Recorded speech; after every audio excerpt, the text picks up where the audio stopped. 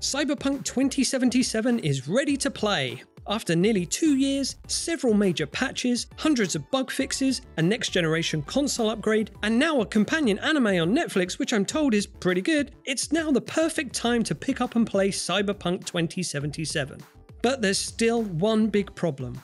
A problem CD Projekt Red won't be able to fix anytime soon. No, it's not whatever's going on there.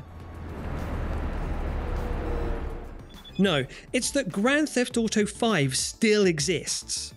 GTA 5 existing is a problem for Cyberpunk 2077. Oh wow, I hear you say. What an insightful comparison, you genuine ball bag. Yes, I know that's an incredibly dull observation and a really obvious and uninspired thing for a scrote like me to say, but it really is always in the back of my mind whenever I'm playing Cyberpunk 2077. There's this GTA infected part of my brain that tuts every time it sees something in Cyberpunk that GTA does better. While Cyberpunk is not perfect in its current state, it's a serviceable experience of no small amusement. But even if it were completely glitch free and operating as intended 100% of the time all the way across the board, it still has this problem of Grand Theft Auto 5. Now, you might be asking if GTA and Cyberpunk are really that comparable. What with GTA 5 being an action adventure crime sandbox and Cyberpunk 2077 being an open world sci fi RPG?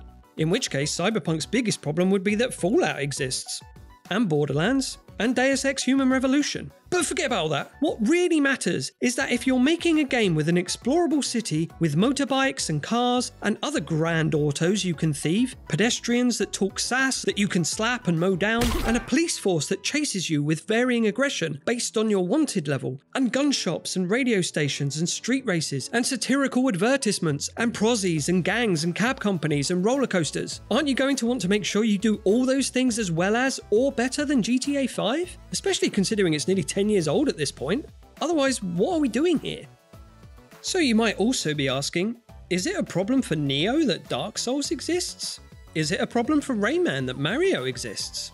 Well, it would be if those titles failed to nail the essential features of their respected genres, features that their big rivals execute perfectly and are celebrated for. If you're putting out your game in the same arena as one of the big boys, surely you'll want certain standards to be met. Basic ground level shit that needs to be present and correct. For example, if in Grand Theft Auto you can change the radio station with a single button press, why then would you make it so in your game you have to hold down a button to get to a menu and then manually select your desired station from there? If Grand Theft Auto had a dynamic minimap that zoomed out when the player travelled at high speeds, wouldn't you want to make sure your game emulated that, so your players didn't miss corners and get frustrated? If Grand Theft Auto had authentic dialogue because it was well researched and featured actors with similar backgrounds to the characters they're portraying, wouldn't you then want to send your actors into the year 2077 to find out how people really talk in the future, Choomba? Okay, so that, that's a bad example, but you catch my dick. So a lot of that smaller quality of life UI stuff has since been patched into the game, but my point is it should have been there in the first place. I mean, come on Cyberpunk, you're supposed to be the next big thing. You're going toe to toe with GTA, and you've got your shoes untied, and your shirt is poking through your fly, and your bum's out, and you're on fire.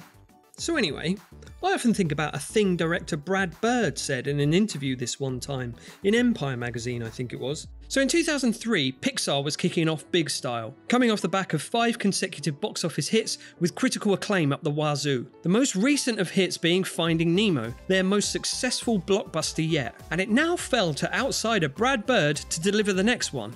No pressure. So, in preparing to write and direct The Incredibles, Brad Bird had this to say or something like this. I can't remember the quote exactly, and I can't find the original article. But anyway, he said something like, We need to do Nemo or better, or we're fucked. That's an Oscar winning attitude right there. Because when expectations are so high, there can't be any room for complacency. Did CD Projekt Red have a similar mindset when they set out to work on Cyberpunk 2077? Absolutely, I bet they did. I think they had so much ambition and vision and new ideas. They certainly promised as much. And I can't know for sure, but maybe there was some overconfidence in their camp after their success with the Witcher series. And maybe they said to themselves, well, we got horses working perfectly, so cars and bikes should be a breeze. I mean, this is just speculation. I can't know for sure. Maybe they had it under control. They just ran out of time and COVID screwed them up. But I wouldn't disbelieve it if someone told me they just completely underestimated the task. It does happen. Even Nintendo got themselves in a bit of a pickle after the release of the Wii U, when they struggled to get titles out the door, having underestimated the resource required to develop games in HD. People underestimate stuff all the time. You underestimate Chuck Norris, and you might find yourself destroyed. Think about it. Hey, how's it going? CD Projekt Red is now drawing plans for the future, with the announcement of Orion, the code name of the next Cyberpunk game, at a shiny new American studio, and a plan to fully unleash the potential of the Cyberpunk universe. Sounds good. I was, however, slightly amused by their statement regarding the hiring of new developers. Quote, as for the total headcount required for such a production, I believe the best reference is Cyberpunk 2077, our most recent release and a good reference point when thinking about development headcount and future projects of this scale. I think it's safe to assume that between 350 and 500 developers should be required. Is that a good reference point? Because remember, the development of Cyberpunk 2077 was a disaster. Meanwhile, Rockstar's development on Grand Theft Auto 6 is coming on so strong it can hardly be contained, leaking out all over the place. So while CD Projekt Red are still getting their ducks in a row, Rockstar have been honing Grand Theft Auto for 25 years now.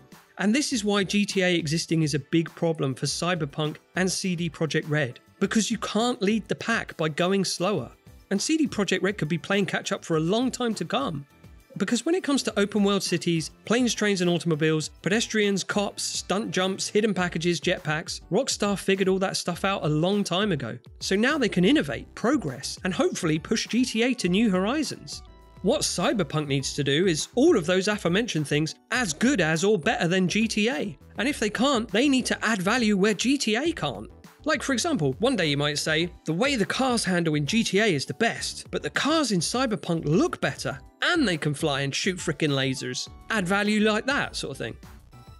So, what am I saying then? Until such a time, I'll never enjoy Cyberpunk or Saints Row or Watch Dogs or Sleeping Dogs or Lego City Undercover or any other such game, all the while GTA 5 exists. Yeah, kinda. Well, actually, no, to be fair. It's just that there's just too many games, and I haven't got enough time to play them all. Just sort of like for the same reason why I wouldn't watch A Shark's Tale, because for the entire duration I'd just be wishing I was watching Finding Nemo. How else is the industry going to move on if all the new releases are worse than the ones that came before? I suppose you could just say Cyberpunk 2077 is good enough in its own right, but is that enough when GTA exists? Eh,